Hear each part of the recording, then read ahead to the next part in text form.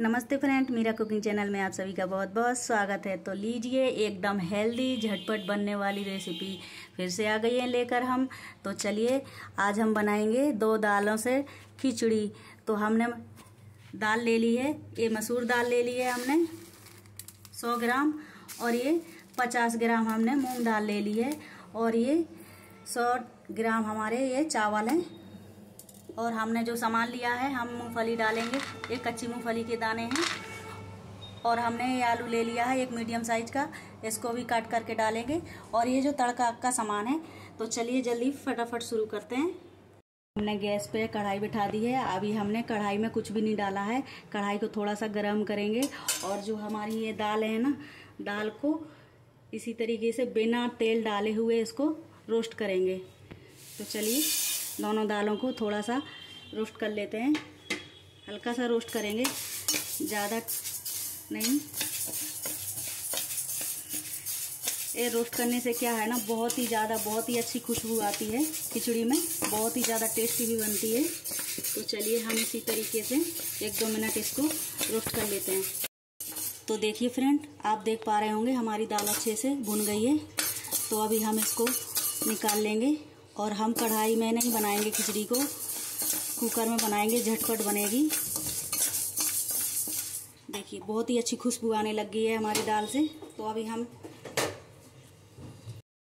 हमने गैस पे कुकर बिठा दिया है। अभी हमारा कुकर भी गर्म हो गया है। अभी हम इसमें डाल देते हैं तेल।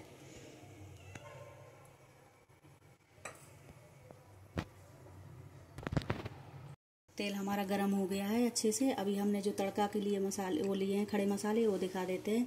थोड़े से जीरे, दो हरी इलायची, एक टुकड़ा बिल्कुल छोटा दालचीनी का, दो लौंग, एक तेज़पत्ता और तीन चार लाल मिर्च। तो इनको डाल देंगे। लाल मिर्च को तोड़ के डालेंगे। इस तरीके से। और जो मैंने प्याज काट के रखी थी, उसको भी डाल देते हैं।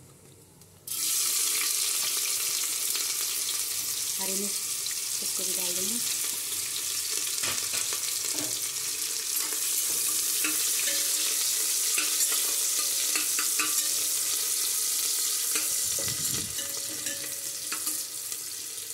खिचड़ी बहुत ही जल्दी झटपट बनकर तैयार हो जाती है। अगर टाइम ना हो, जल्दबाजी हो तो जल्दी से फटाफट करके जल्दी से खिचड़ी बनाइए और खाइए। कभी भी खा सकते हैं। दोपहर को भी खा सकते हैं, रात को भी खा सकते हैं डिनर में। तो हमारा प्याज हल्का ब्राउन हो गया है। अभी हमने अदरक लहसुन का पेस्ट लिया है, एक चम्मच। इसको भी डाल देंगे।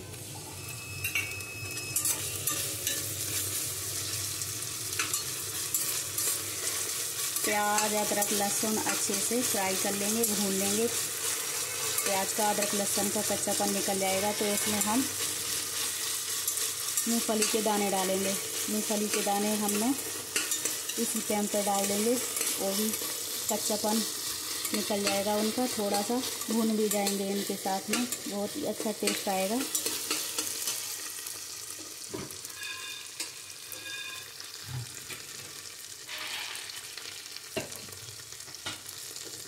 मूँगफली के दाने भी डाल देते हैं। इन्हें भी अच्छे से भून लेते हैं। तो चलिए। फली के दाने अच्छे से हमारे भुन गए हैं। ये देखिए ये देखिए, कितने अच्छे से भुन गए हैं। तो जो मैंने आलू लिया था एक मीडियम साइज़ का, उसको अच्छे से कट करके अभी पानी में रखा हूँ। अभी इसको भी डाल देते हैं। मैंने आलू दिए हैं सब्ज़ी में। आप चाहे तो गोभी भी दे सकते हैं कोई सी भी सब्ज़ी दे सकते हैं, जो आपको पसंद है। आलू को भी अच्छे से थोड़ा सा भून लेंगे, हल्का सा नमक डाल देंगे, आधा चम्मच। आलू हमारे थोड़े से सॉफ्ट हो जाएँगे।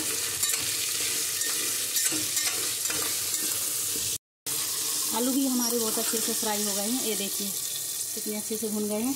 तो अभी हमने दाल को भी दो तीन पानी से बहुत अच्छे से धो लिया है, इसको भी डाल देंगे। जितना चावल लें, उतना दाल लें तो बहुत ज़्यादा टेस्टी खिचड़ी बनती है। चावल भी धो लिए मैंने, इसको भी डाल देते हैं। दोनों को अच्छे से मिला लेंगे।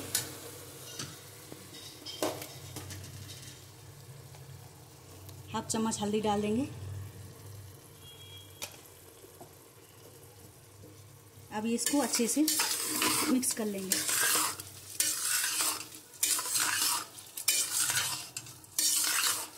देखिए फ्रेंड, हमारा अच्छे से खिचड़ी भुन गया है।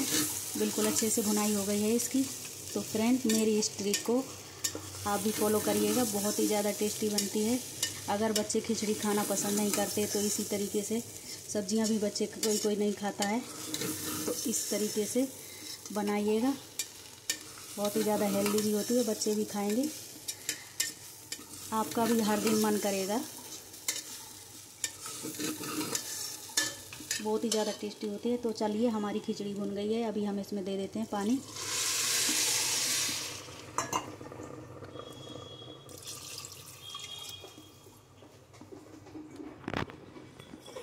तो चलिए फ्रेंड, हमने इसमें अच्छे से पानी डाल दिया है। ये देखिए।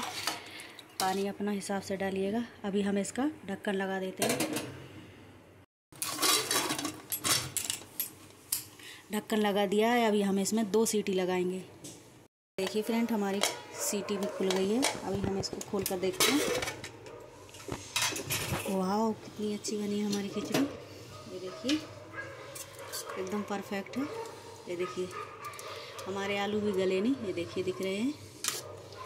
सारे आलू एक एक करके दिख रहे हैं। ये देखिए। तो हम दे देंगे आधी चम्मच घी।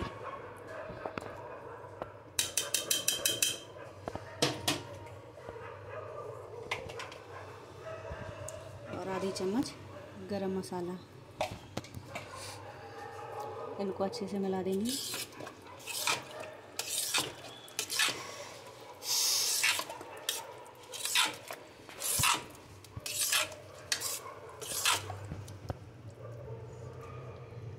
ये देखिए फ्रेंड कितने अच्छे से बनी हमारी खिचड़ी, एकदम हेल्दी तो लीजिए फ्रेंड अभी हम इसको उतार लेते हैं।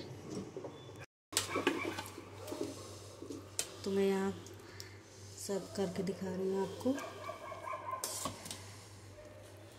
ये फ्रेंड हमारी हेल्दी पौष्टिक, एकदम गर्मा गर्म खिचड़ी बनकर तैयार है। तो चलिए हमने सर्व भी कर दिए तो चलिए आप भी इंजॉय करिए। डिनर लंच जब भी मर्ज़ी जल्द झटपट बनाएँ और खाएँ, तब तक के लिए बाय बाय टेक केयर